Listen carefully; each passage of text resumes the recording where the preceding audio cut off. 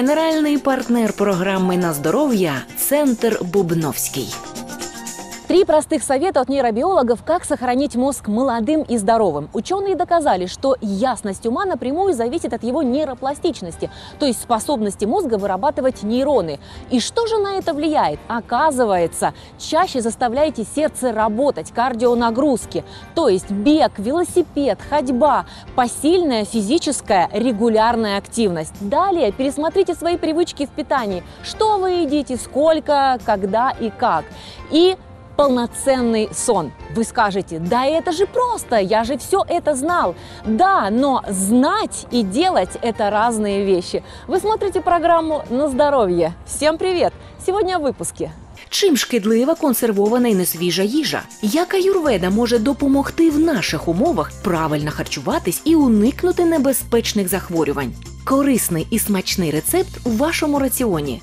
Ревматоїдний артрит найпоширеніше аутоімунне захворювання. Як кінезітерапія може допомогти хворим з такими складними діагнозами? Если вы знаете ответы на вопросы, кто я, какова цель моей жизни, вы здоровы, вы удовлетворены своей карьерой, работой, семьей, личными отношениями, местом, где живете, и еще испытываете чувство благодарности, это значит, что вы познали аюрведу. Если все-таки есть вопросы, то аюрведа уже нашла ответы за свою пятитысячелетнюю историю. Аюрведа – это традиционная система индийской народной медицины, начало которой идет от священных в Индии текстов вед, где описывалось строение тела человека, описание лечения внутренних болезней, недугов всего организма и даже оперативного лечения – Аюрведа, как учение о жизни, деятельность организма рассматривает через взаимодействие трех субстанций – воздуха, огня и воды, носителями которых в нашем теле считаются прана, желчь и слизь. Мы рождаемся с предрасположенностью к определенному характеру, телосложению, отношению к миру. Болезнь возникает тогда, когда имеется дисбаланс всех трех дож – ваты, питы, капхи. Вата – ветер. У представителей этого типа, как правило, худощавое тонкокосное телосложение. Их особенность – быстрый обмен веществ. Их рацион питания должен состоять из гречки, риса, мяса, молочных продуктов, орехов. Пита – огонь. Людей данного типа отличает нормостеническое телосложение. Они являются обладателями взрывного характера. Им очень полезны бобовый, сельдерей, спаржа, цветная капуста, молочные продукты. Люди типа капха, слизь, предрасположены к полноте ожирению. Причиной этого становится неправильное питание и замедленный обмен веществ. Определение преобладающей души – это основа всего процесса исцеления в аюрведе. И весь процесс лечения направлен на гармонизацию дож и накопление аджаса – жизненной энергии. А питание – основной фактор, влияющий на человеческое тело. Аюрведа вполне обоснованно говорит о том, что неправильное питание является причиной многих заболеваний, с чем согласна и современная медицина. Поэтому мы практикуем аюрведическое питание, то есть живую еду, зеленую. Зеленый – это цвет жизни. Консервированная еда или приготовленная другими способами – это старая еда. Ее можно считать мертвой. И когда мы едим мертвую еду, наши мысли получают мертвую энергию. А когда мы едим свежую пищу, мы растем, подобно дереву. Мы получаем больше хлорофила, наши клетки оживают, размножаются, восстанавливаются. И очищать организм от переработанной пищи тоже становится легче. Мы поели вечером, и на утро наш организм чистый. Но с мертвой едой все по-другому и избавиться от продуктов распада телу намного сложнее. В итоге такая мертвая еда приводит к болезням, к раку, к сердечным болезням, к смертельным, и что сказывается на общем образе жизни.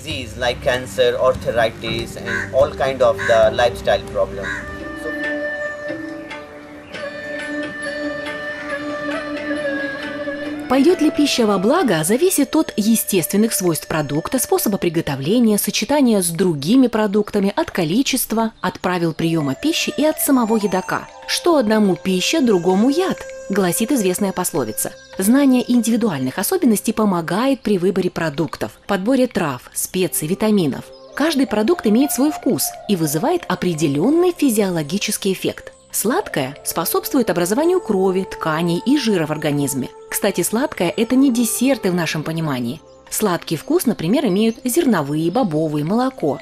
Кислый вкус содействует пищеварению, горький улучшает аппетит. И здесь аюрведа имеет много общего с нашей диетологией в главном принципе – индивидуальность в выборе питания – в аюрведе преследуется несколько целей. Да? И цели философия жизни, в том числе философия питания. И поэтому быть в гармонии с собой – это самое главное. Если мы берем основные приемы пищи, завтрак, обед и ужин, да, то на завтрак предпочтительные и правильные – это продукты со сладким вкусом. Это, например, сочетание – это фрукты сезонные, микс-салаты, это каша со сливочным маслом, делаем. Это запеченные фрукты, фрукты в свежем виде. Это творог с медом, с курагой, с черносливом, сухофруктами любыми. Что касается обеда и подхода к обеду, то в любом случае за обед нужно приступать, будучи голодным обязательно, чтобы разжечь пищеварительный огонь. Да, здесь мы можем употреблять продукты с шестью вкусами разными. И начинать все-таки лучше со сладкого э, вкуса. Это каши, это э, суп, э, то есть сочетание разных вкусов. Не нужно забывать о специях, потому что они как раз и тонизируют, как раз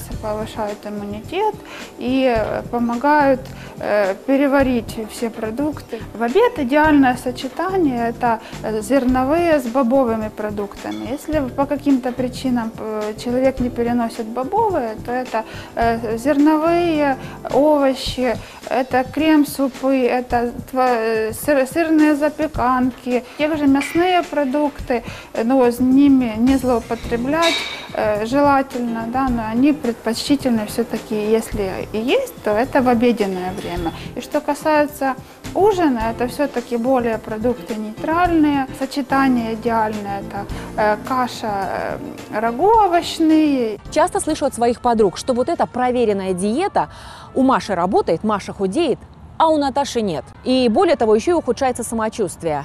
Но, может быть, стоит прислушаться к главным принципам аюрведы – индивидуальность в рационе питания. Нужно прислушиваться к себе и питаться в зависимости от своего физиологического типа. А еще в аюрведе очень важно не только то, что ты кушаешь, но и как – не кушать в позднее время, после захода или рано утром до восхода солнца. Ешьте только когда голодны, не переедайте, всегда оставляя в желудке одну четвертую часть свободной для воздуха, без которого не будет гореть огонь пищеварения. Еда должна быть теплой, это улучшает пищеварение, и свежеприготовленной, тогда она максимально полезна.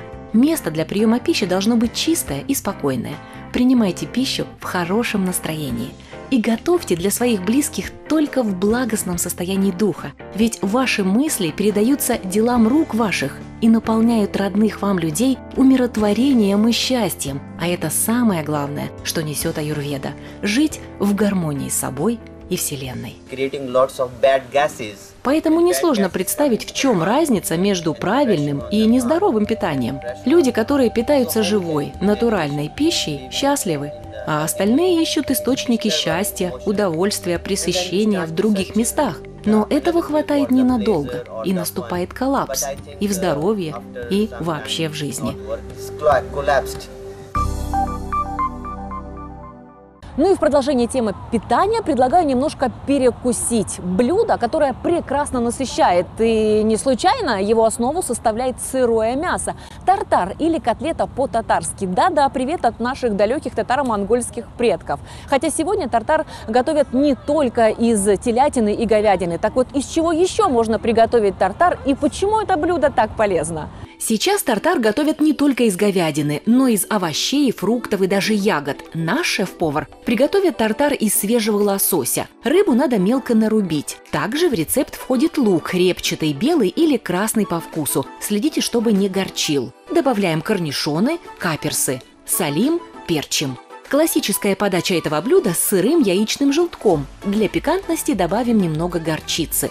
Пользу такого салата для здоровья трудно переоценить. Порция лосося обеспечит вас нужными омега-жирными кислотами на несколько дней, а это профилактика сердечно-сосудистых заболеваний, старение организма, возникновение артритов, артрозов, онкопротекторные свойства. А еще это целый комплекс витаминов, белок, микроэлементы. Вот такой вкусный и очень полезный рецепт в ваш рацион от программы на здоровье и ресторана «Континент». Медицина считает, что ослабленный иммунитет является причиной многих заболеваний. А что делать, если иммунитет становится врагом собственного организма, принимая свои клетки за чужеродные, начиная их уничтожать? Возникают аутоиммунные заболевания. Причины их до сих пор изучаются. Как лечить аутоиммунные заболевания и как жить с этим опасным недугом. Ревматоидный артрит является самым распространенным системным аутоиммунным заболеванием. Женщины страдают этим недугом в 3-5 раз чаще, чем мужчины. Поскольку количество людей, пораженных аутоиммунными заболеваниями, растет, исследователи подозревают, что на это могут влиять генетика, а также различные внешние факторы – плохая экология, а также инфекции. Татьяне диагноз ревматоидный артрит поставили в 10 лет после ангины и ее осложнений. Проявилась опухоль правой руки мелких суставов. Ну и постепенно пошли в мелкие суставы рук, потом колени, ноги. И так абсолютно-абсолютно все суставы начали опухать и деформироваться. И, конечно, с большой болью. Это были школьные годы, вот это на занятия не ходила, писать не могла, ручку в руки брать не могла. Ревматические заболевания – одни из самых трудных для диагностики и лечения. Не просто для многих принять болезнь и тот факт, что этот диагноз надолго, но с ним можно жить и улучшить качество жизни. Татьяна нашла решение в центре Бубновский и кинезитерапии. Цель кинезитерапии – это улучшить подвижность позвоночника и суставов, удлинить ремиссию, убрать осевую нагрузку суставов, улучшить микроциркуляцию тканей – повысить иммунитет. При этих заболеваниях мы преследуем главные цели. Первое – это уменьшение инвалидизации, потому что эти заболевания, которые приводят к инвалидности да, за счет того, что развиваются контрактуры суставов, в случае с болезнью Бехтерева это происходит болезнь анкилоз позвоночника. Значительной проблемой при системных аутоиммунных заболеваниях является ухудшение качества жизни пациентов, связанное с наличием болей болей, скованностью и деформацией суставов. Необходимо не допустить прогрессирования заболевания и инвалидизации. В центре с пациентами с ревматоидным артритом занимаются по особой программе. А здесь, конечно, занятия строятся индивидуально по ощущениям, по, по наличию интенсивности боли. И поэтому как такового базового набора упражнений нет. По самочувствию, по состоянию подбираются на каждое занятие специфические упражнения. Мы должны проработать суставы в период обострения таким образом, чтобы улучшить кровоснабжение суставов, питание суставов через полноценное кровоснабжение и уменьшить боль, потому что самое главное это во время обострения это болевой синдром.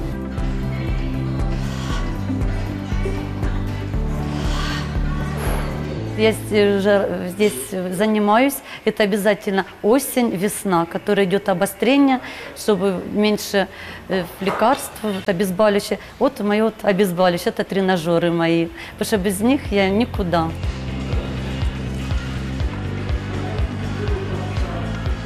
Если есть период обострения мелких суставов, мы исключаем из работы мелкие суставы. Для суставов пальцев даем упражнения с мячиком. Для суставов лучезапястных даем упражнения с гантелями с маленьким весом на подвижность. А затем надеваем манжеты на предплечья и работаем с крупными суставами.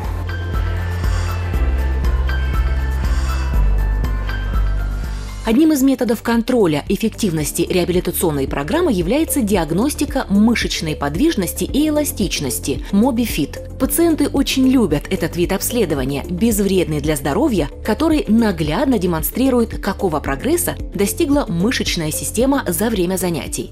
В частности, здесь, кроме диапазона движения, это амплитуда, это самый главный показатель, оценивается симметрия, это соотношение правой и левой половины тела, оценивается гармония, это соотношение верхней половины туловища и нижней.